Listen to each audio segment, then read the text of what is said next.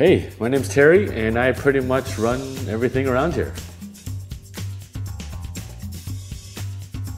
So the story of how this got started was that over the years, I just couldn't find the right gear to carry my tickets, my passports, uh, all these different currencies, coins, immigration forms, and all these things that you need while you're on the road. And I could, just couldn't find something that could keep me organized and I was happy with, with design and the functionality.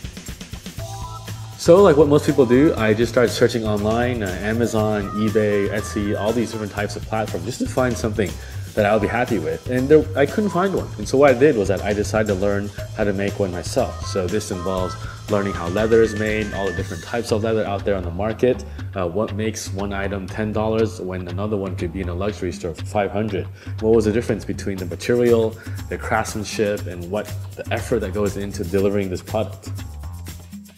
So what makes our leather special is that everything is 100% handcrafted. We get our leathers from very high quality sources all around the world. Uh, this includes France, Spain, Italy, Japan, and Thailand. And so we also don't use cheap plastic leather that you'll find in products that are maybe 5, 10, 20, 30 dollars because, you know, hey, ballers just don't roll like that. So something we also offer is we do customizations too on your leather wallets or your accessories. So if you want something like a initials, uh, some anniversary dates, uh, custom name, maybe something like your Twitter handle uh, to have this little angle to it, uh, we can definitely add that.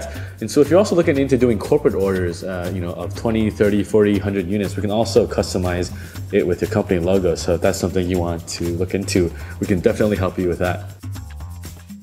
All right, so if you want to get in touch, uh, you can reach me by email, terry at ballerleather.com. Otherwise, you can reach me on Facebook, uh, Pinterest, or YouTube, all slash baller leather. Otherwise, thanks for watching this, and I'll see you around the website. Take care.